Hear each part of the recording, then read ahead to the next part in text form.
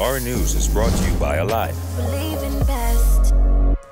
Coming up tonight in our news, a days long sick out impacting the living and the dead. The families of two COVID victims receive $100,000. Public schools set to reopen in two weeks, and an MP robbed at gunpoint.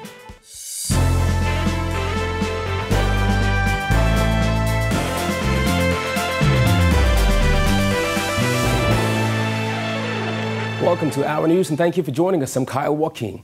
Topping news tonight, Governor General Sir Cornelius Smith has tested positive for COVID 19, according to a statement issued by his office. Sir Cornelius, who is fully vaccinated, was reportedly tested on Friday after coming into contact with someone who tested positive. He learned that on Sunday evening he had been infected. According to his office, the Governor General has no symptoms and will abide by public health quarantine protocol. Sir Cornelius received his first dose of the AstraZeneca vaccine back in March. In other news, public schools are scheduled to reopen on August 30th, according to Education Minister Jeffrey Lloyd, who urged parents to get their children over age 12 vaccinated. Here's George Bain. As educational officials finalize which schools will be operating in the hybrid environment or fully face-to-face, -face, the education minister says he recommends that all parents with students between the ages of 12 and 17 register those students to take the Pfizer vaccine that is now in country. And I hope to God strongly, strongly, strongly encourage parents to permit their students, their children, to take these, um, to take these uh, vaccines. Absolutely, positively. Do please remember that no child can enter the public school system without vaccination. 131 new COVID 19 cases were confirmed on Sunday. 113 of those cases are on New Providence, 7 are on Grand Bahama, and 9 are on Abaco. Unless you can maintain 7 to 12 feet of square foot space, then child is going to have to be in a virtual space. And that's, that's the stipulation. For us, there are some schools that will remain 40% of the students, or 60% of students, even some schools, 70% of students because they have the space.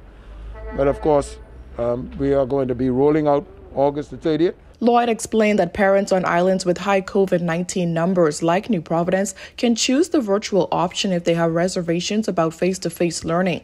In the urban centers, and obviously we're talking about New Providence, Grand Bahama, Abaco, parts of Eleuthera, and Andros, they are going to go hybrid, almost hybrid. Okay? Now, um, this, this does not just simply go for the public schools, this is for all schools, all schools, because, of course, as you know, as the Minister of Health and the Ministry of Education, we're responsible for education in the system. And the Ministry of Health and Department of Health officials have stipulated this is the way education is going to roll out 21 22 across the system. Lloyd said while a final decision hasn't been made for schools on islands such as New Providence and Grand Bahama, plans for Family Island schools were straightforward. Some islands, some schools, face to face.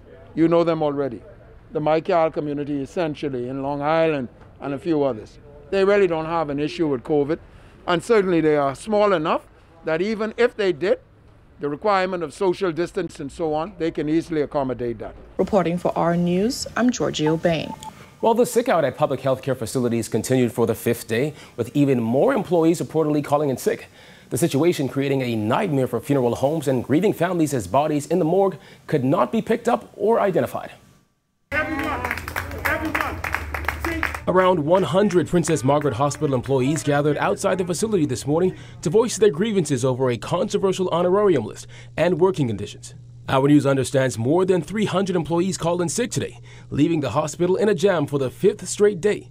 And the list has grown with employees from the hospital's kitchen and housekeeping also calling in.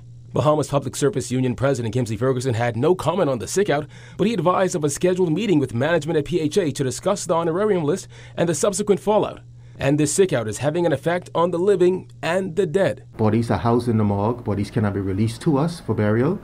And at the same time, we are at a point where we cannot even put bodies into the morgue that would have died outside of hospital because the morgue is full to capacity. Bahamas Funeral Directors Association President Kirsch Ferguson said funeral homes have had a tough time over the last five days as they were unable to pick up or even drop off bodies at the Rand morgue due to the suspension of services. We were adamant and insisting that a doctor come to the house to sign a death certificate because of our fear that because the morgue is full, the body would actually decompose if we were to attempt to take it to Princess Margaret. Because one, there's no personnel there to receive us, and number two, the morgue is full to capacity. PHA said in a statement, morgue services resumed Monday with the release of remains. Identification of remains will resume on Tuesday. But up to this afternoon, funeral directors called the situation a nightmare, making the grieving process even harder for families. Vaughn Jones called it vexing as one funeral had to be postponed because the body couldn't be collected. The grief process is such a burden on them, and uh, and so from our standpoint, um, with the morgue having these delays, um, it is causing much much problems. When we visited Demeritte's funeral home, we met a family that had been trying to get their mother's remains from the morgue since she passed away on Friday. While they did not wish to speak on camera, Demeritte's managing director Llewellyn Aswood II said the sickout at PMH has been doing more damage to families than one can imagine. We as funeral directors, we are trying to be as accommodating as possible to the morgue staff as well as to the family members so that we could try to be a bridge to the gap. Right. Yes, sir, so that we could get things done in a timely manner. Denali Penmaki of Evergreen says to call it a hard situation to deal with would be an understatement. We cannot plan a funeral with the body in the morgue. Neither can the family um, proceed with their business with the body in the morgue because we uh, we don't receive death certificates until the body is released. And usually the family need their death certificate for insurance purposes. We need it for NIB. We need it for social services. We need it for whatever banking institution. The families of two healthcare workers who died early on in the pandemic have received $100,000 each. The payments are part of a temporary death benefit for healthcare workers who volunteered to serve on the front line of the COVID battle. Jared Higgs has more. It was a somber affair at the Ministry of Health as officials welcomed the families of two healthcare workers who died on the front line of the COVID 19 battle during the second wave of the pandemic. Minister of Health Renward Wells described Nurse Sherilyn Charlton Bain and custodian Marion Burrows McKinney as heroes, saying they offered themselves at a time when many were reluctant. Both women were considered to be the early heroes in the COVID 19 fight. These women willingly respond to the call issued by this administration. They were courageous in executing their duties during the COVID 19 response when some of their colleagues were somewhat hesitant and some may have declined service. McKinney, a custodian at PMH, died on September 29, 2020, while Bain, a nurse at the Bahamas Department of Corrections, died on October 10, 2020. The $100,000 given to the families are part of a death benefit the government offered to healthcare workers for a limited time. Well said, both women fully qualified. We know that no monetary value can replace the life of your mother, wife, daughter, sister, aunt, or friend. However, it is our hope that it will provide for a time the necessary funding that would have ordinarily been supplemented by your loved one's income. The Nassau Guardian reported that Nurse Bain died while quarantining. While it was an emotional affair, both families expressed gratitude.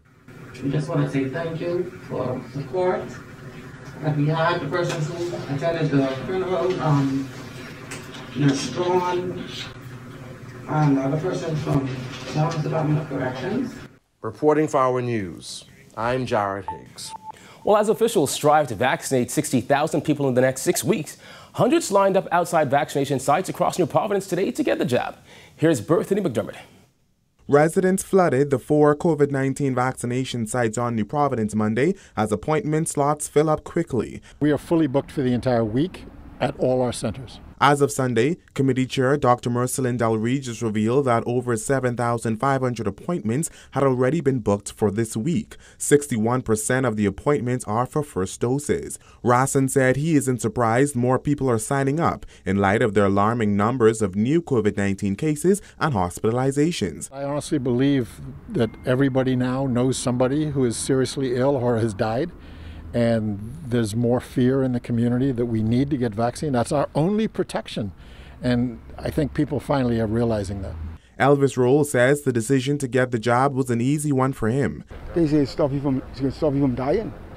You know one won't die. Uh, my father had caught COVID, and to see persons around me that had caught it, and you know, it, it wasn't to hear their story. It was horrific. So I said to protect myself and my twins, it's best that I do this. Um, my stepfather, um, he uh, uh, had the COVID and it did him pretty bad. It did him pretty bad. You know, thank God he's still here.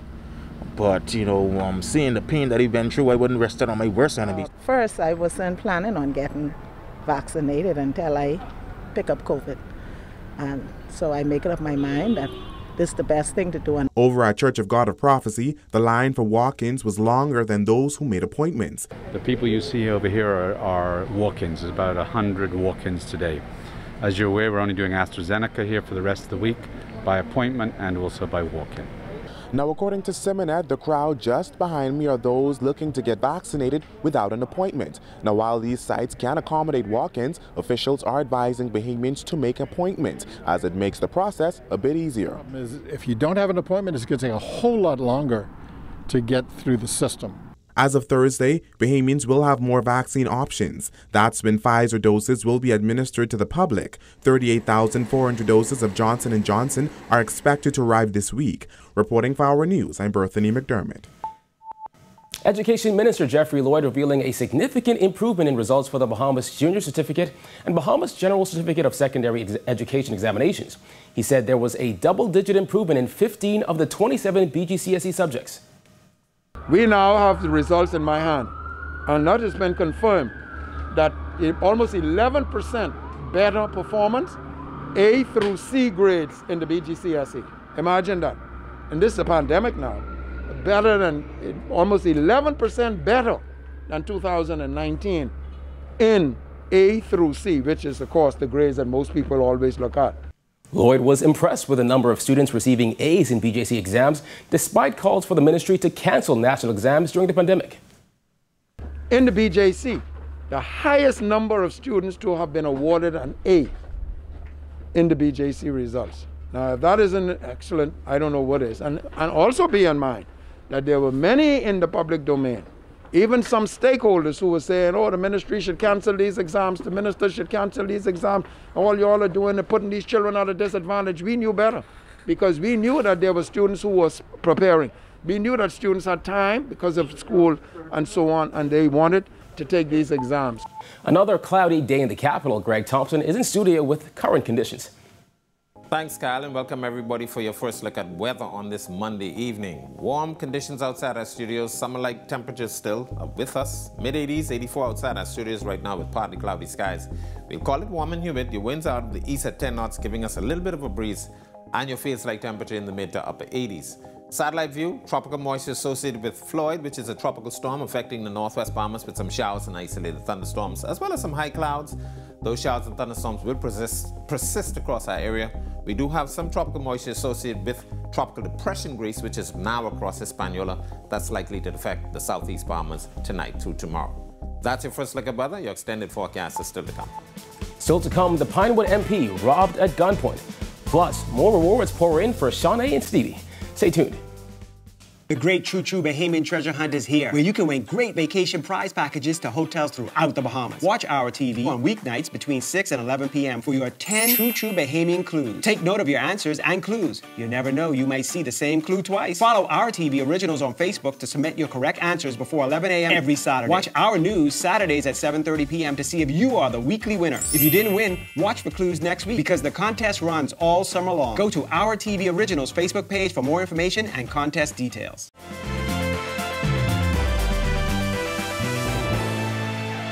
You're watching Our News. Welcome back. A member of parliament detailing the horrifying moment he and his wife were robbed at gunpoint outside their home Friday night. Here's Jared Hayes.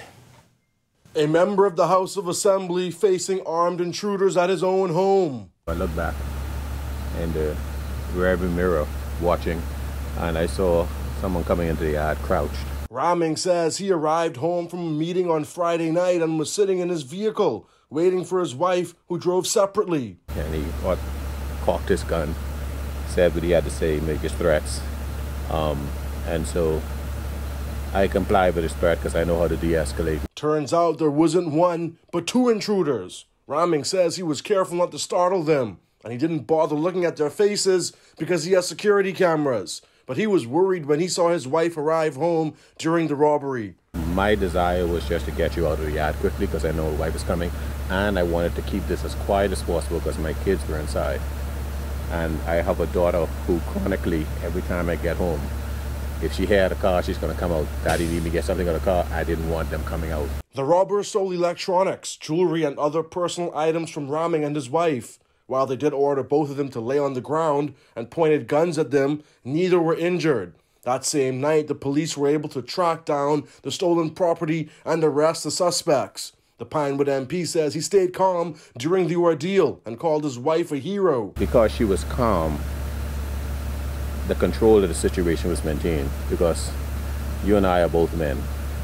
And quite frankly, if it did escalate with her, then that's just that's it. You know that would have been it. And so I was that's why I consider hero. Rahming says staying calm in dangerous situations is key. He says he has taught his family lots of self defense, but the best defense is de escalation, he says. Being willing to die to your family is secondary. And, and but that is not that is not the first option. You live for your family. But if push comes to shove, you must realize that as a good shepherd, you must be willing to lay down your life for your family. Reporting for our news, I'm Jared Higgs. Meanwhile, a 25 year old man was arraigned today on murder and attempted murder charges. Brandon Pinder is accused of killing Dino Brown and attempting to kill Dennis Bowles on August 9th. According to police, the men were standing outside a home when two gunmen exited a Jeep and opened fire on them. Pinder's attorney, Ian Cargill, told the court that his client was at home when the shooting incident occurred. He said he submitted a jump drive containing surveillance footage to an, to an officer to prove that Pinder was at home. The Ridgeland Park resident was not required to enter a plea to the charges, and bail was denied. He was remanded to prison until December 14th. It's now time for tonight's Financial Market Minute, brought to you by RF, your local investment bank.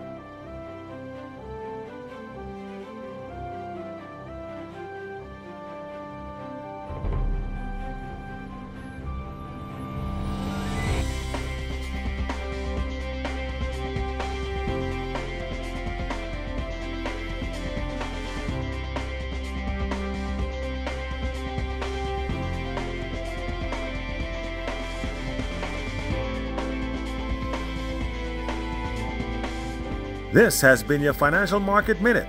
To explore the best performing mutual funds in the Bahamas, visit our website at www.rfgroup.com. When our news returns, Rotarians help Abaco students get ready for school, and corporate Bahamas showing its appreciation to Olympic gold medalists. Stay tuned. The Great True True Bahamian Treasure Hunt is here, where you can win great vacation prize packages to hotels throughout the Bahamas. Watch our TV on weeknights between 6 and 11 p.m. for your 10 True True Bahamian clues. Take note of your answers and clues. You never know, you might see the same clue twice. Follow our TV originals on Facebook to submit your correct answers before 11 a.m. every Saturday. Watch our news Saturdays at 7.30 p.m. to see if you are the weekly winner. If you didn't win, watch for clues next week because the contest runs all summer long. Go to our TV Originals Facebook page for more information and contest details.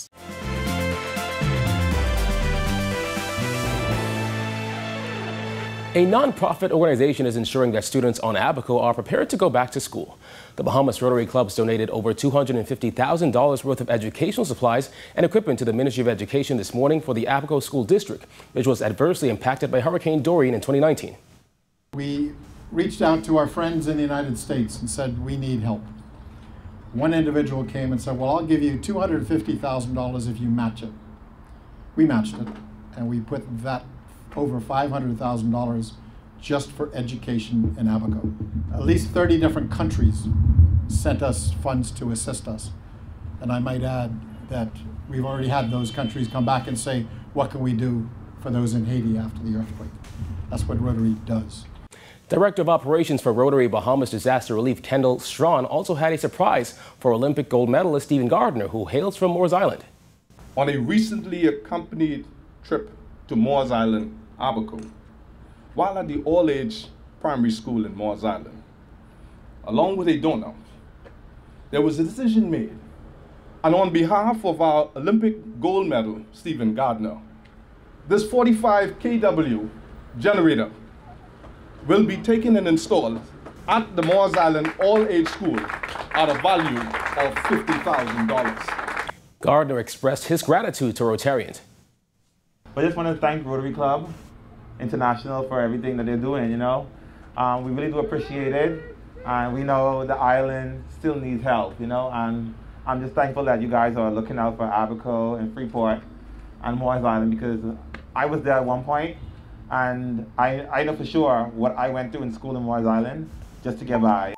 Well, the royal treatment continues for Olympic gold medalists Shaunae Miller-Uibo and Steven Gardiner, who returned home last week following their stellar performances at the Tokyo Olympics. Today, they received checks from Equity Trust CEO Michael Dean, who says it's a little reward for representing the Bahamas at the Olympic Games. I am a, a BACO track official, so I've seen Shaunae and Stevie when they were mere teenagers. Now they're superstars. We must continue to encourage the Bahamas to support track and field and sports in general. We have so much talent, and the only way we'll be able to utilize it is if we support them from high school straight up to world champions. A very grateful Miller-Uibo and Gardiner said they are looking forward to the future. We went out there and we both represented and we did, we both made history for our country and for ourselves. So it's good to be back and to see all the smiles on everybody's faces. I was just happy to be back home, like you said, just to be able to celebrate with the Bahamian people. Um, we just thank them for all the support over the years and all the prayers, of course. And yeah, it's just great to be back. Meteorologists keeping a close eye on Grace. Greg Thompson has the latest when our news returns. The great True True Bahamian Treasure Hunt is here, where you can win great vacation prize packages to hotels throughout the Bahamas. Watch our TV on weeknights between 6 and 11 p.m. for your 10 True True Bahamian clues. Take note of your answers and clues. You never know, you might see the same clue twice. Follow our TV originals on Facebook to submit your correct answers before 11 a.m. every Saturday. Watch our news Saturdays at 7.30 p.m. to see if you are the weekly winner. If you didn't win, watch for clues next week because the contest runs all summer long. Go to our TV originals Facebook page for more information and contest details.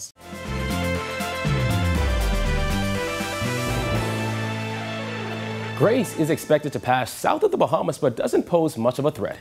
Greg is back with the latest. Thanks again, Kyle, and welcome back everybody for your second look at weather. We are tracking three systems in the tropics. We have Tropical Storm Fred moving across the Florida Panhandle as we speak. Showers and thunderstorms affecting the northwest Bahamas. We will continue to see that activity tonight through tomorrow. But as Fred lifts out towards the north, showers and thunderstorms will be moving away from our area. And eventually we should see some better conditions across the northwest Bahamas. We also have Tropical Depression 8, which is, has the potential to make it to tropical storm status tonight or tomorrow. Near the Bermuda area will eventually make a jog towards the southwest and eventually more towards the northwest over the next 24 to 36 hours and into the North Atlantic, eventually weakening over the next several days. Also, we have Tropical Storm Grace, Tropical Depression Grace, pardon me, which is near Haiti. Showers and thunderstorms associated with that system will begin to affect the southeast Bahamas tonight through tomorrow. And as that system gets nearer to the area, we expect those winds to be picking up across the central and southeast Bahamas. So boating will become a challenge, and we're asking you boaters to exercise extreme caution if you plan on doing any of that activity. The track of Grace will continue to move towards west-northwest, fortunately keeping it to the south of us and eventually across central Cuba by Wednesday and into the Gulf of Mexico by Thursday. Once again, showers and thunderstorms and some strong winds affecting the southeast and central Bahamas over the next two days. Boating forecast for the northwest Bahamas tonight through tomorrow. We expect those winds to be out of the east to southeast at 15 to 20 knots.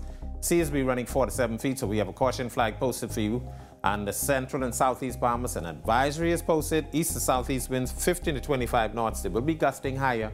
Very rough seas at 6 to 9 feet. Here's a look now at your national forecast.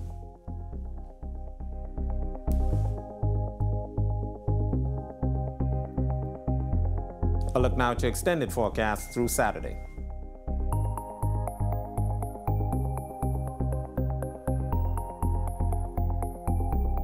That's a look at our weather. Back to you, Kyle. Well, thank you for joining us for Our News Tonight. On behalf of the entire team, I'm Kyle Walkine. Enjoy the rest of your Monday evening, Bahamas.